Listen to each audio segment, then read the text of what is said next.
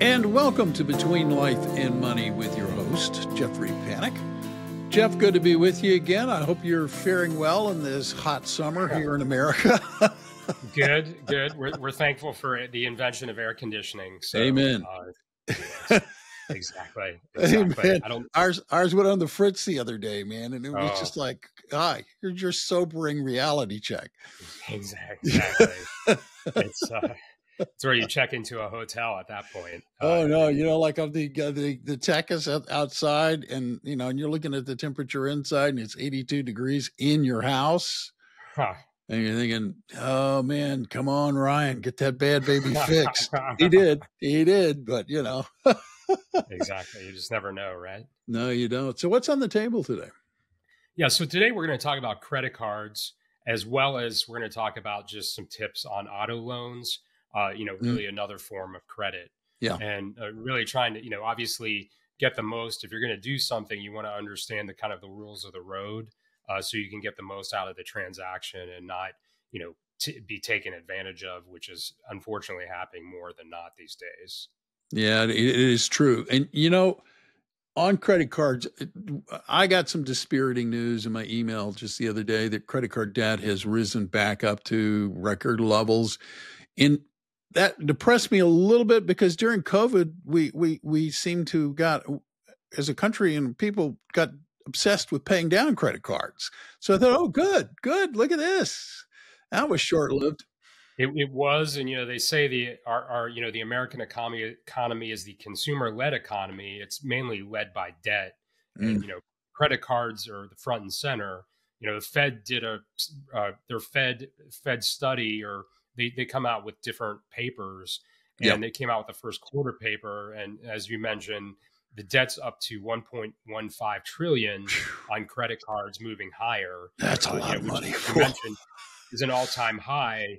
You know, and, and the reality of it is, a lot of people are starting to get to the point of being tapped out of even being able to get the credit. So, yeah. you know, you have to ask yourself, with the way the economy has been going, you know, at what point do we wake up and say, well, maybe we're going to have to re re uh, evaluate or reconsider what the expectations are moving forward? Yeah, but you know, I, I I will I will say this in defense of the American consumer: credit cards are freaking everywhere. I get credit card offers, and I've I've I've gone on my you know the credit reporting things and said, don't send me credit card offers. Yeah, but they it, yeah, they're everywhere even even if you opt out you can't get them you know you can if you opt out you get it out of your mailbox but you can't get it out of your head because exactly. whether it's you know you go to a sporting event you watch a sporting event you go to concerts you watch t- tv advertisements they're everywhere you know yeah. uh, the large credit card companies just blanket everything and so you know you can't get them really they want it they want to get in your head and i think unfortunately they're doing a good job for a lot of people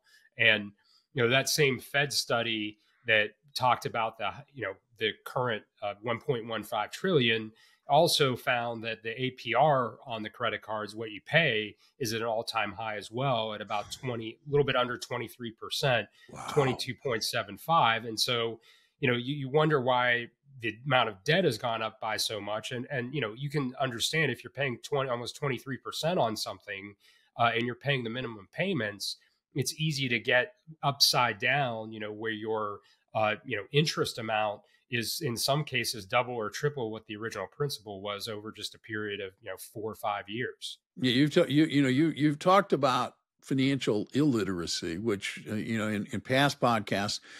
And I mean, nowhere does it show up more than this. And I have known people who got underwater and had to, you know, undergo credit reviews and and and take classes because suddenly they woke up and their credit card debt was, you know, this freaking monster no longer under the bed, but sitting in the bedroom, as a matter of fact. Yes.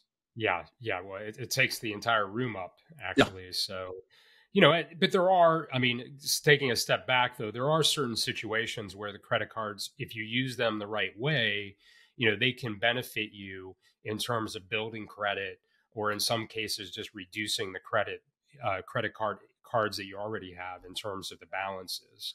Uh, and you know, that's really? the first thing we're going to talk about. Yeah. So, you know, if you've had some credit issues or you're you're starting out trying to build credit, uh-huh. you know, one of the credit cards you could try to get is a secured credit card.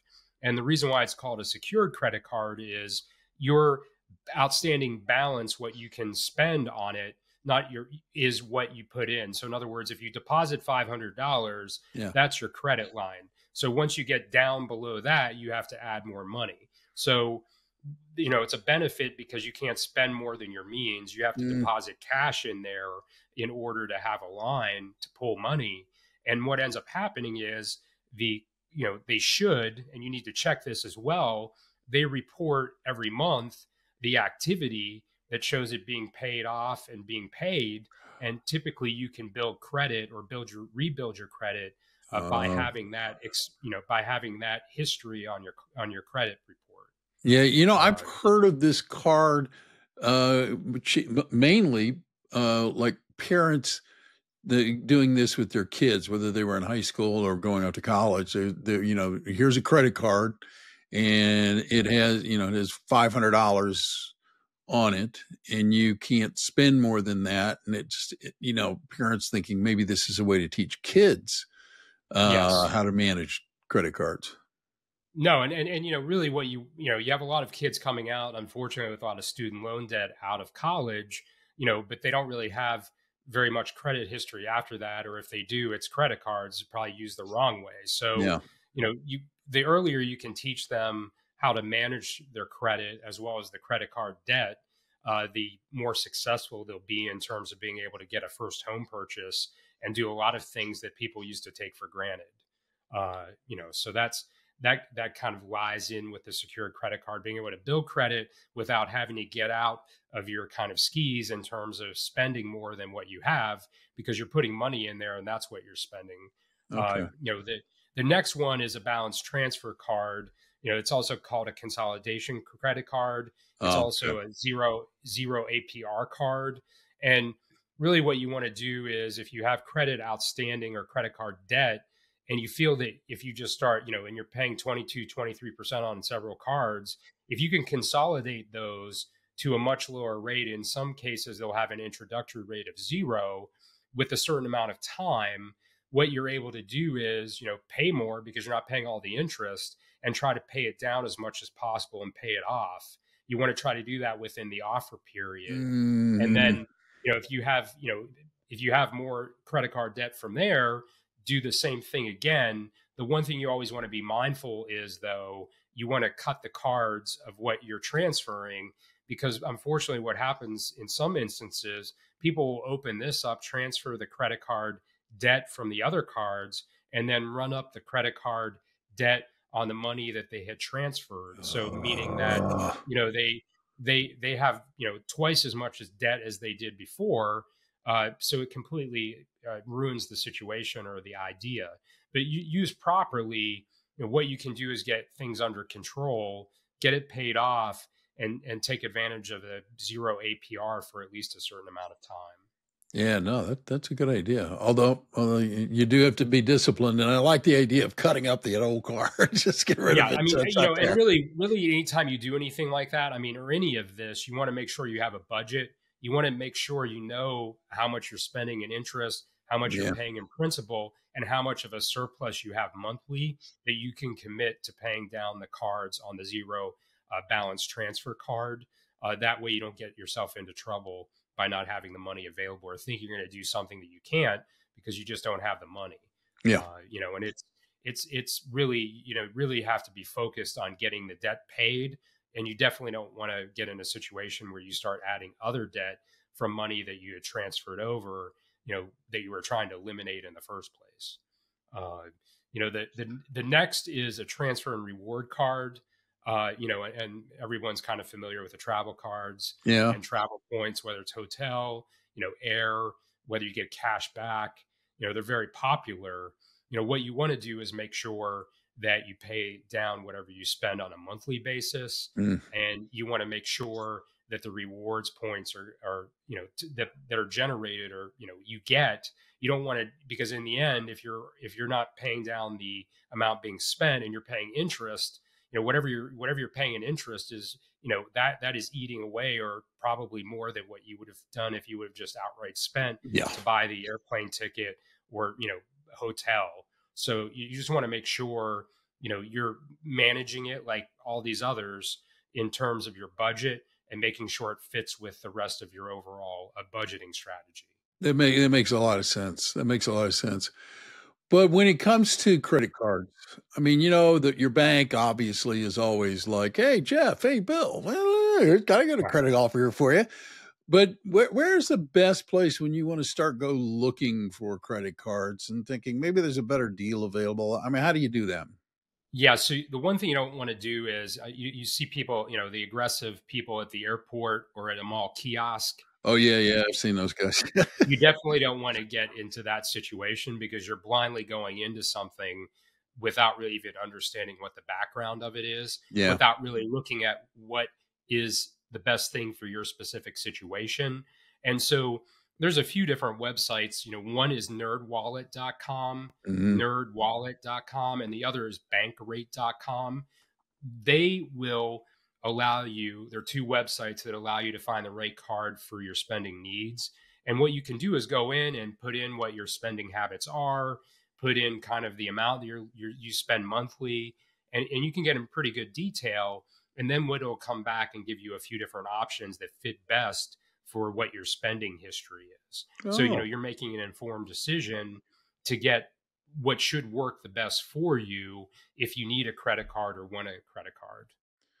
Yeah, oh, that's good. That's good, actually. So it'll actually sort of and, point me in the right direction, or listeners in the in the right point direction. you in the right direction. You know, and you always you always want to make sure you know if you're you want to make sure you know what you're spending on the card uh, as it relates to what the fees are. You know, wh- whether you know if if you if you never travel and you, you're signing up for a travel rewards card, it probably doesn't make a whole lot of sense.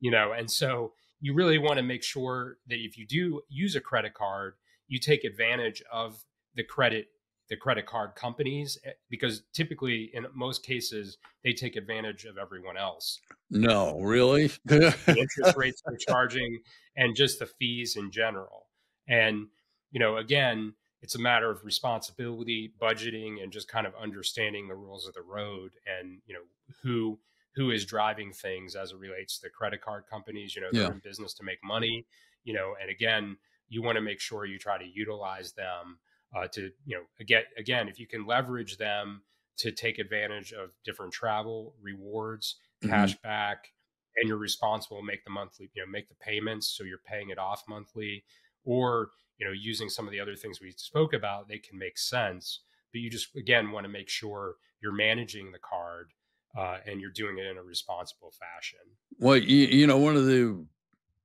reality checks on credit cards that i personally experienced was that i had paid my bill it had i assume gotten there on time by the time you know the date on the statement saying it has to be paid by this date but like two days later, I get this thing saying, Hey, you haven't paid your bill.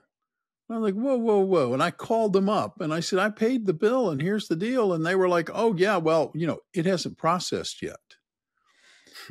And I'm like, excuse me, but, and, and I had a whole conversation. So that people should be aware that it's like, just because it has a, a, a pay by date of whatever, the 15th, that means I learned they expect the, pro- the, the the payment to have been processed on that date, not necessarily received on that date. So you know, the uh, I guess that falls under terms and conditions, but yeah, and, and, I mean, I, I, get in, I get into the the fact that you know, in a lot of instances, you want to be able to link it to your bank so that you can make a payment online. Yeah, payment, uh, and you know that really where you can have a record of it you know, it doesn't, you know, if anyone doesn't understand the speed of the, you know, the postal service at this point and the challenges, uh, you know, you don't want to rely on them to get a payment somewhere within a specific, specific yeah. cutoff date, you know, where you could start end, end, ending up accruing late fees and everything.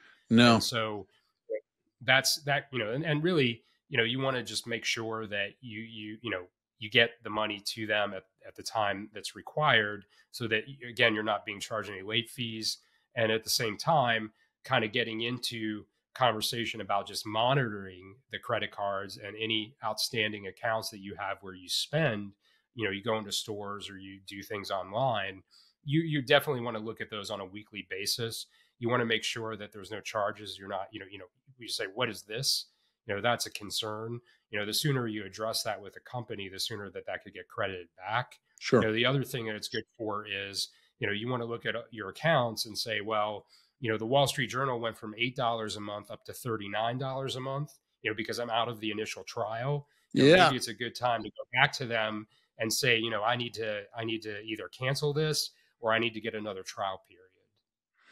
It's interesting you bring that up because I've I've called publications that I've been subscribers to for a long time, and um, I've been like, I look, I, I need to I need to cancel the subscription, and they go like, Why do you need to do that? I say, Well, you know, it's just getting too expensive, and they're like, We're hearing that a lot. I'm like, I'm not surprised. But Jeff, nobody said, how about we give you an, you know, an introductory? How about we yes. lower this to I was like, okay, got to go. I'm sorry. It's got to, we, it's time for us to break up. yeah, it's, it's, uh, you know, they say breaking up's hard to do, especially if you're with, you know, where they'll come back to you for multiple yeah. offers and everything else. Yeah. You know, and, and really it gets back into monitoring. Uh, even with the cards, you want to make sure, you know, they, they can send out things occasionally, the terms and conditions, yes. and they will change those occasionally. You want to make sure you don't get blindsided by, you know whether it's a monthly fee they start charging you know whether they charge you know apr you always want to make sure you know what the top end of the interest is uh, and you don't want to get blindsided by the fact where you see you know your rate go from 7 or 8% up to 22 and mm-hmm. so you kind of want to really always know what the rules of the road are before you go down the road and that's more important i think than anything than with the credit card companies yeah, no, no, that's a that's a fair, very fair point. You know, you mentioned at the beginning of the podcast you were going to talk about auto loans because uh, yeah, those are painful ones too, or they can't be at least. They, they are. They are. You know, with the interest rates moving up, at least for right now, the way they have, you know, the rates you can get a kind of sticker shock, as well as just what the supply demand of vehicles are, new vehicles, and just mm. what the costs are. You know, it's inflation, you know, if, if three or four years ago, if I said, you know, inflation, you know, people that have, you know, had, had kids in college that had health issues, they understand what inflation is. Yes. Uh, but, you know, outside of those two groups, you know, it was kind of hard to kind of really put to pieces together. But, you know, if you look now at what, you know, the cost of a vehicle, even the maintenance, oh, as well as insurance, you know, and that's, that's one of the primary tips we're going to go over in a minute just about putting the cost together because you know the way it's laid out often is you know you have a car payment you have to factor maintenance and then you also have to factor insurance mm-hmm. to get come up with the total cost and you know really yeah. you want to look at that you know but really the first thing you want to do when you start looking if you're going to buy a car or take out a loan what you want to do is look at your credit score and really what you want to do is you understand what your credit score is you know if it's not perfect or you know where it needs to be you need to understand what you need to do to get it higher so that you can get a lower rate when yeah. you go to buy the car because every little bit helps and so if you can improve your credit score over a little bit of time you know it allows you really to imp- improve the terms of the loan uh, which can yeah. go a long way to saving on a monthly basis I know. I want to. I'm just going to take a little sidebar conversation here on this because I don't think people understand the extent to which their credit score affects the rate that they get on loans. Because the lower your credit rating, perversely, the higher the loan, meaning the yes. higher the amount of money you're going to have to pay. And people should understand that. To your point about check your credit score and see if there aren't things you can do to improve it. And, and, it's not even just that even even your car insurance you know they look a lot oftentimes at your mm. credit. And and if you the other area would be a job you know if you're applying for a job a lot of times they'll pull your credit you know so it's very important to keep your credit in check. And the way to do that is really you want to set a budget. You want to understand you know where what you're spending money on you know your income expenses and then you want to make sure there's no overlap things you're you know paying once more than once for like subscriptions on things. And you want to try to get those down and you want to be able to put the money you know to pay down debt add to savings or an emergency fund you know and the other thing you want to do is you want to set a budget for your vehicle that you're getting. You know you want to look at you know what is your monthly payment going to be? You also want to look at you know what is the maintenance going to be and then you want to say well oh by the way you know car insurance in some cases is up 30% year over year I need to look at that as well. and you want to look at the total cost and make sure that that still fits into your budget. Yeah, you know, you know, can I throw another caveat in here? One of the things I learned when, when my kids were younger, and you know, we were going and looking at cars, the type of car and the driver, i.e., if you have somebody under a young man under the age of twenty five, yes. and you and and they're like looking at a, like a quote unquote sports car, and they think this looks pretty cool, even a used one. Wow, yes. the insurance rates will blow your mind if you're not familiar. So yeah, you can't understand. Yeah. You cannot underscore that enough. Sticker, sticker shock. You know, not just that the sticker car, you know, the sticker on the car, but on what is around it, and that's yes. you know, you really want to factor that in because that gets into you know, you don't have the money that you had before because you're spending more on the car. So then you're putting more on, say, credit cards or adding, you know, you're spending through your savings, which creates all kinds of other issues. And you know, getting to the savings side you know, typically you're not just be able to go into a dealership and just say, I want, you know, unless you have something to trade in, you know, as collateral, you know, you're not just going to be able to go take the car out without putting down a down payment. Yeah. And, you know, optimally speaking, you really want to try to get 20% down. You know, the larger the down payment, the lower the interest rate is going to be. And obviously, the lower the monthly amount is going to be uh, because, you know, you're going to owe less. Yeah. Uh, and typically that's going to have a better interest rate. So, you know, you want to try to aim for that you want to understand what you want to buy and make sure it fits within your you know what your budget is uh, and then you know you want to make sure you shop for financing you know well before you start looking at the car going into the dealership. You know you never want to just take the dealer finance. You yeah. want to make sure before you go in the dealer you're pre-approved. You know a lot of times you can go into a credit your credit union if you have a credit union or go into a bank. They can pull your credit history give you a rate, you know, that potentially could be competitive or better yeah. than what the dealer is so that you know what you're working with. And, you know, and sometimes you also want to understand how long you're going to pay it for. You know, it might be a low payment, but you may be paying it for six or seven years. You know, so you want to get the time frame, the amount of years you're paying as low as possible because that'll mean that you're paying less interest over time. Yeah. Yeah because you don't want to have a balance left over when you decide you need a new car. no, no, that that is that is for sure. You know, and, and the other and that gets into understanding the loan ter- loan terms. You know, you want to really understand what the loan terms are. You know, you want to make sure you understand you know what how much interest you're going to be paying over the term, and yeah. you want to see what happens. Well, what happens if I go from you know six years down to three years?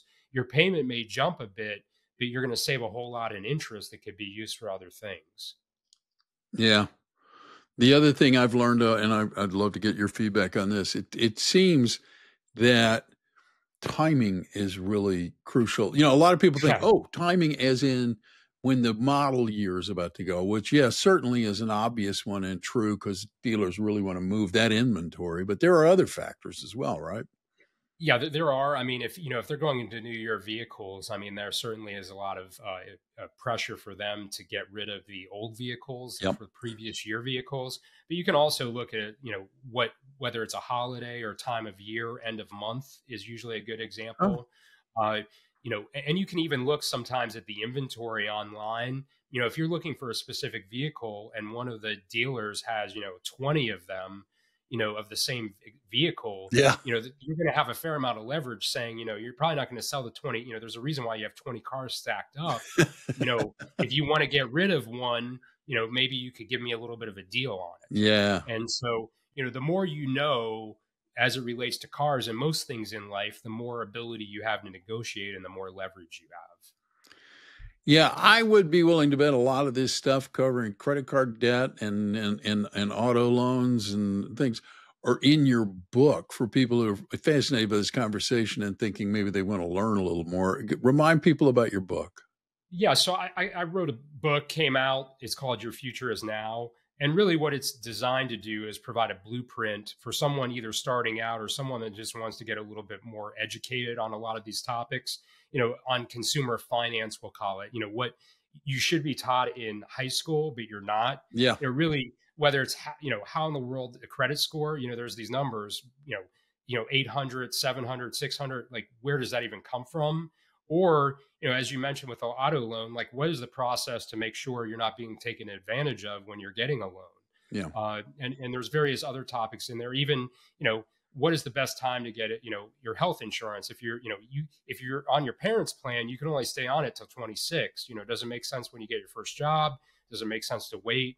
You know so there's all kinds of things that are out there you know and it's it's like most things in life the more you know and the more informed decision you can make uh, you know the more successful you'll be in paying less interest and, and just making better decisions. So where where can they get the book jeff yeah so they, they can get the book on amazon uh, they can get it on barnes and noble pretty much anywhere books are sold Okay, uh, great. And, and and really, it's you know there's QR codes in there that you can scan that have calculators, and there's all you know I mentioned NerdWallet, Bankrate. With most things, I've put in uh, different websites that are independent sites where I list three or four different ones that you can go to to get additional information. And you know the benefit I've always said with the internet is that you can get information at a touch of a button. You know, really the problem is with that it's a matter of going through, you know, the 330 million hits you might get off of Google, come up with something that's, you know, really works for your specific situation. Yeah. And, and I think, you know, that's really the puzzle of things. You know, it's really how does it fit for you? And that's could be very different from your coworker or another family member. Yeah, for anybody who's listening to this conversation and thinking, "Oh, the book sounds interesting," but I think I'd like to talk to this guy. How how do uh, listeners reach out and get in touch with you, Jeff? Sure, my information's in the meeting notes. Uh, you can also always reach out to me via phone or mm. email uh, to set up an initial phone call conversation where we can talk about your situation and see if you know I can help in any way. Sometimes it's a matter of just pointing someone in the right direction. You know, they may have questions about all these different things because nothing, unfortunately, is very clear these days. It's I kind of say like with most of us these days, we're just kind of walking around between you know a media news internet fog. You know, you're just in a fog or a haze. You know, it's like uh, you know, it's it's just like you're walking around trying to figure out what are you even going to do, and you have all these voices in your head from all these different uh, areas coming in. But it really, you know, what I try to do is just try to give impartial, independent advice uh, to try to help at least point the person in the right direction. Fair enough. Fair enough. The other thing that listeners can do, if you're not a subscriber to the podcast already, is just hit the follow button. Then you're subscribed. And then every time Jeff drops a new episode of this podcast, you can give it a listen. I would ask that if you find this podcast interesting and you find it useful, that you tell people about it. Please tell people about it. Word of mouth promotion, we, we like that. We would welcome that, as a matter of fact. Thank you for taking the time to listen today. I'm Bill Tucker on behalf of Jeff and everybody at Balance Wealth Partners. We want to thank you for your time and remind you that you can go out today and make today a great day or, or not. It's a choice. Thanks for listening. Until next time.